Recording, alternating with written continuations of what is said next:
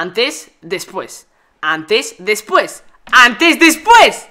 Todo el mundo odiamos la niebla. A todo el mundo nos ha jodido alguna que otra partida. Y por eso hoy vengo a traeros la solución para quitarla. Como sabéis, con el evento del rey helado vino una cosita llamada la tormenta. La tormenta se podría asemejar, se podría comparar con el típico amigo toca pelotas de tu clase. Que nada más venir ya está trayendo problemas. Que no para, por favor, tormenta, vete, amigo, vete. Fortnite aquí sería el maestro, el profesor. Los alumnos le decimos, mira, la tormenta que es el alumno ese toca pelotas ¡No para! ¡No para! Y Fortnite, bueno, pues mira, que se quede. ¿Cómo que se quede, tío? Mándalo a tomar por culo ya. Y como Fortnite no quiere echar a la toca pelotas de la tormenta, lo haré yo, con dos huevos. Ven aquí, tormenta.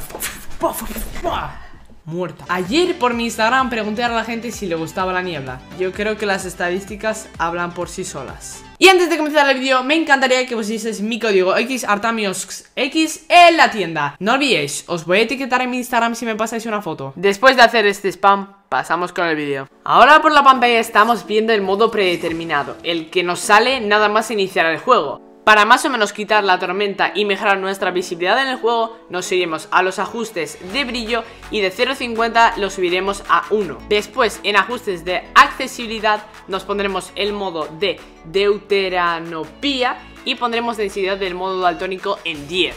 Cambia una barbaridad Antes no veíamos ni el árbol que os estoy mostrando Pero ahora mismo vemos hasta la torre del bloque Para que veáis que no os estoy mintiendo Mirar esto Antes, después antes, después, antes, después. Y bueno chicos, espero que os haya servido este pedazo truco. Espero que os haya encantado el vídeo. Yo he sido harta Adiós